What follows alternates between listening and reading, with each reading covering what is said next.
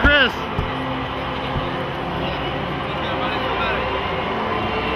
How's the divorce going, Chris? Huh? How's the divorce going? That's polite.